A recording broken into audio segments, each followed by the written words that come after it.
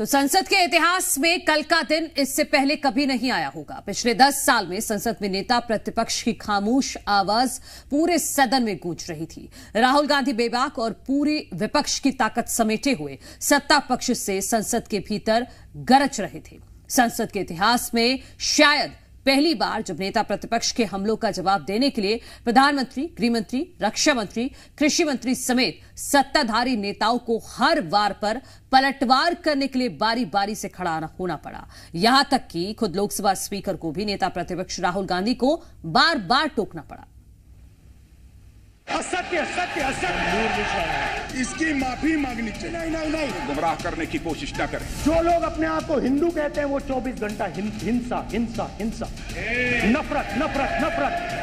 करोड़ों लोग अपने आप को गर्व से हिंदू कहते हैं। क्या वो सभी लोग हिंसा की बात करते हैं?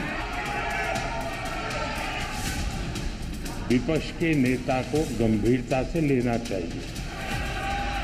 संसद में भयंकर रण हुआ। नीलकंठ से लेकर नेता प्रतिपक्ष राहुल गांधी सत्ता पक्ष पर दूसरे धर्मों के भगवानों की तस्वीरें दिखाते हुए फुल फॉर्म में थे। तो प्रधानमंत्री मोदी भी खास मुस्कुराहट के साथ अपने भाव व्यक्त करते दिखे। राहुल गांधी के शब्द भेदी बाणों की काट के लिए स्वयं गृहमंत्री अमित शाह रक्षा मंत्री राजनाथ सिंह तक को मोर्चा संभालना पड़ा। योजना लाई गई है। हिंदुत्व से लेकर अग्निवीर अग्निवीर से लेकर अयोध्या तक के मुद्दों पर तीखी बहस से सदन की दीवारें भी मानो हिल रही हों। जो लोग अपने आप को हिंदू कहते हैं वो 24 घंटा हिं- हिंसा हिंसा हिंसा। नफरत नफरत नफरत। करोड़ों लोग अपने आप को गर्व से हिंदू कहते हैं। गर्व से हिंदू कहते हैं। क्या वो सभी लोग हिंसा की बात करते हैं। पूरे देश को इस बीच कई बार ऐसा हुआ जब अमित शाह को राहुल गांधी के एक एक बार का करारा जवाब देने के लिए खुद मैदान में आना पड़ा। दिल्ली में दिन दहाड़े हज़ारों सिख भाइयों का कत्लेआम उनके शासन में हुआ। कि श्री राहुल गांधी नेता प्रतिपक्ष पहला भाषण होने के बावजूद माफ़ी मांगनी चाहिए।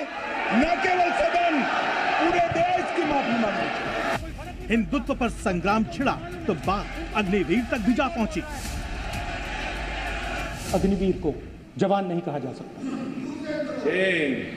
अग्निवीर यूज़ एंड थ्रो मजदूर है। सदन को गुमराह करना इसे कदापि उचित नहीं ठहराया जा सकता। इसे सदन की कार्रवाई से बाहर निकाला जाना चाहिए। बात अयोध्या की आई तो राहुल गांधी यहाँ भी नरम पड़ते नहीं दिखे।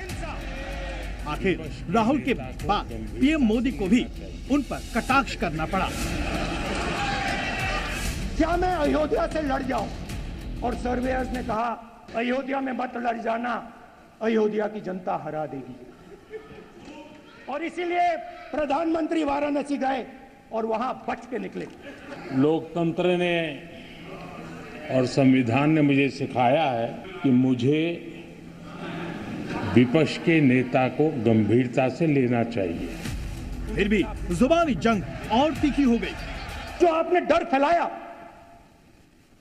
उसके बारे में यात्रा में बहुत कुछ सुनने को मिला। सदन को गुमराह करना इसे कदापि उचित नहीं ठहराया जा सकता। बात कैमरे और माइक पर आ गई तो खुद स्पीकर भी राहुल गांधी को स्पष्ट करते दिखे। कभी बंद नहीं हुआ। इस माइक का कंट्रोलर किसके हाथ में है? प्लीज़ बैठिए आप बोलने के लिए खड़े, आपका माइक कभी बंद नहीं हुआ। कभी बंद नहीं हुआ। राहुल ने भाषण की समाप्ति की तो अमित शाह ने तुरंत मोर्चा संभाला। नेता प्रतिपक्ष को अपने भाषण में तथ्य बगैर की और सत्य न हो ऐसी जो बातें रखी गई है, इसका सत्यापन करने के लिए आपका निर्देश मिले और हमें संरक्षण मिले। अब सबको इंतज़ार। ये मोदी के भाषण का है। Bureau report Zee media.